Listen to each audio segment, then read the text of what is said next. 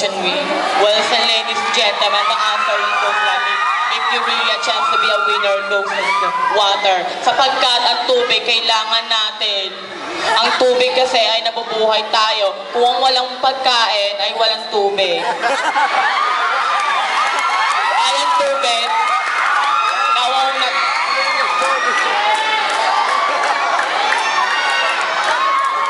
Kung walang tubig, mamamatay tayo kasi ang tubig ay nakakabuhay.